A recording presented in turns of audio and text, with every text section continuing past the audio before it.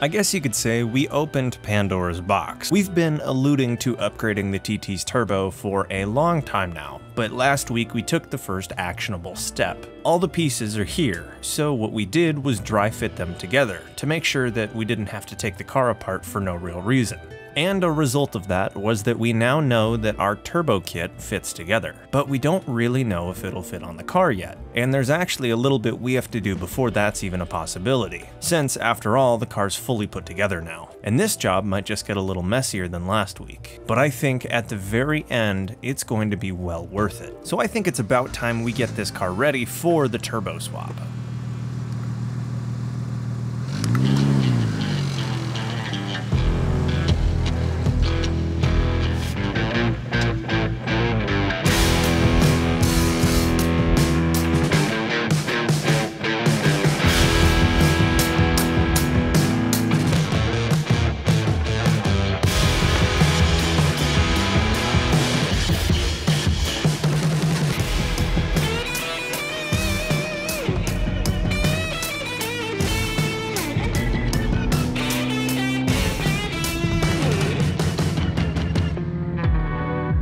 I arrived to the car this week with a ton of ambition.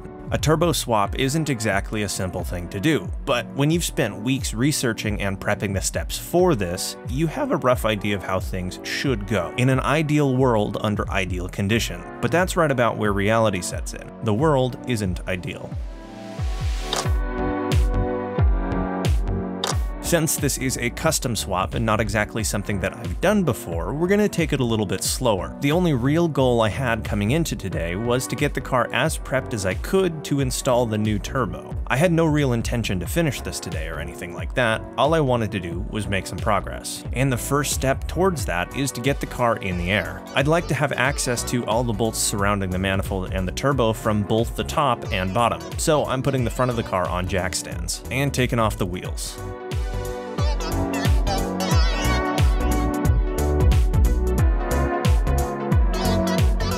We're going to be taking off a lot of hardware for this swap to actually work, so being organized is going to be pretty important. It's not terribly difficult to remember where bolts came from when you took them off, but that doesn't mean you can't make it easier on yourself. So what I like to do is if I'm removing a part, I keep the bolts that install that part with that part in a little bag or something like that. It's a pretty simple way to do it, but it works wonders.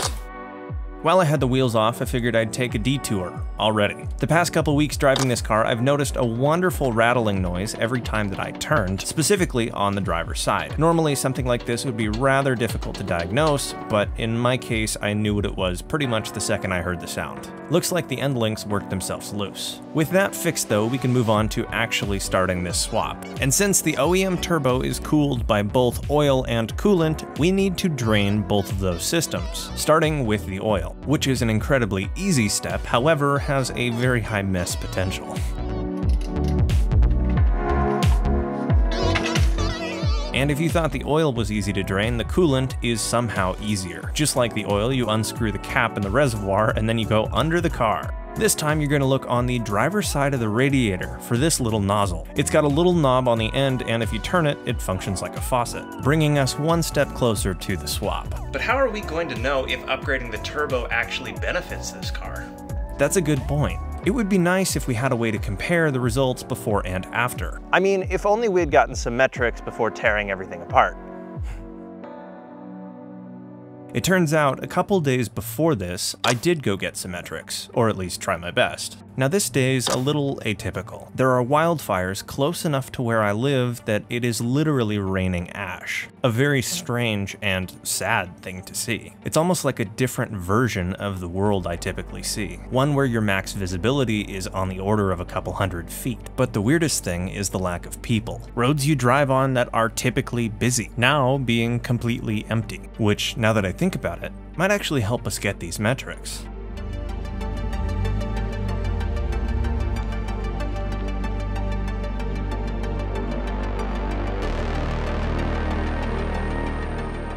The plan was to measure how this car actually performs. The roads are empty, and nobody is out here, so we should be able to test acceleration pretty well. Now I don't have access to a dyno or anything like that, but I do have access to a new OBD2 scanner which might help us. I currently use a Harbor Freight Special for diagnosis, and this is a notable upgrade from Topdon. And one of the cool things it says that it can do is measure acceleration. So I figured I'd come out here and give it a try. At least that was the plan. Another cool thing about this scanner is that it can actually talk to a number of systems in the car that my Harbor Freight one can't. It can actually read ABS or Haldex codes, which is pretty sweet and might be useful in the future. But for now, all I was really concerned with was its ability to measure 0 to 60. Even if it wasn't super accurate, we'd at least have a benchmark. Only one real issue. At this point, the turbo was quite unhappy. The car was unhappy. I think we honestly just waited a little too long to do this test accurately. The car's boost is inconsistent. It'll sometimes peak at 20, it'll sometimes peak at 15, and it's hard to predict what it's going to do. It also absolutely doesn't hold whatever it's peaking at. So performance-wise, acceleration just doesn't feel good. All that to really say that the scanner 0 to 60 did work, it's just that the car was comically unhappy doing it. The car has a stock clutch, so I couldn't really launch it, and it's not very happy in boost. So the average time I was getting was around mid to high 6 seconds, which is pretty bad considering it's full bolt-on. In fact, I think that's worse than what the car is supposed to do stock. But like I said, it's hurting, and it gives us a lot of room to improve. I also figured that it would be good to get a baseline of the codes the car was throwing before we went too far far, and with what little time I've spent with this scanner, it's definitely an upgrade, and I can recommend it. Well, it turns out we actually have three codes for the check engine light, and honestly, I'm not too worried about all of them because they're all somewhat related. The first one has to do with under boosting, and well, our turbo is dying, so that's exactly why we're replacing it. Not worried there. Second one has to do with our secondary air injection system, and it looks like it's not getting the proper reading. Once again, with the setup that we're going with, I'm not that worried there. We might even replace that entire system or swap it all together. And the third one is simply for the catalytic converter. We have a high flow cat, and that usually causes a check engine light. That's true in this case as well. So, all in all, all three codes are really not that bad. We'll know that we did the swap properly if afterwards we do those scans again and fixed a couple. That's the goal. Which brings us to now, working on a car that is hurt so bad that it is slower than it was stock, despite having thousands of dollars of modifications already. But since all those issues hinge around the turbo, we have everything we need to fix this. We just need to get access. And on this car, there are a number of things in the way. Vacuum lines, charge piping, intake, turbo inlet pipe, the list goes on. And since the turbo is on the back of the engine, everything that is in the way needs to come off, starting with our intake system. And on the topic of the intake, I don't even know how much of this we're going to be reusing. Our turbo setup is going to be completely different, so there's a good chance that we'll be re-engineering and rebuilding a ton of this. And the exact same thing could be said about this charge pipe that goes across the engine. Our turbo is going to be in a different position, and it's a different size. So I definitely wouldn't be surprised if we had to make a bespoke version of this that connects to this piping. It doesn't necessarily matter what the pipe looks like or how it's shaped, it more so just matters that it meets up right here. And since this hose is right now the only way to get into the intake side of the engine, I'm to put a glove over it so that nothing gets in. I don't really know how long this swap is to take.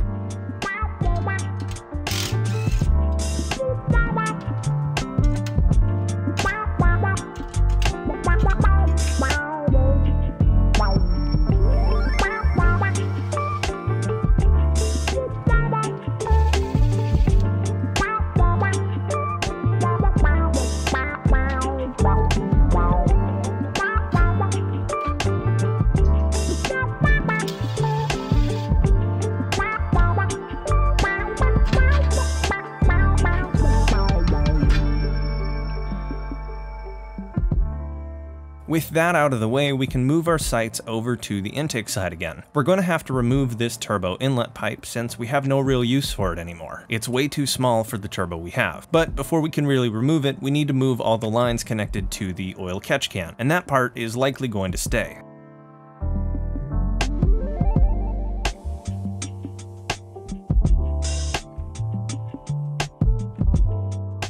With all the lines for the catch can sorted, we can move on to the back of the engine again. And right now, our goal is effectively just to give ourselves as much clearance as we possibly can. Almost all the work we're going to be doing will be back here, and a lot of it will be blind. But the biggest issue is actually the clearance. To even entertain the idea of fitting my arms back there, I need to remove the strut brace as well as the little bracket on the back. Then I can at least start to get tools down there. And if you remove the little silicone outlet from the turbo, you can actually see the manifold now. This is kind of where we're going to be working for a good percentage of this job. So we might as well get comfortable with what's here. We have three bolts that hold the turbo to the manifold, all of which with a terrible reputation. To start this job though, there's actually another prerequisite some more tools. To even consider removing those bolts, you need to have reverse Torx bits, and honestly, even if you have these and are using the right stuff, things can definitely still go wrong. But we'll talk about that later.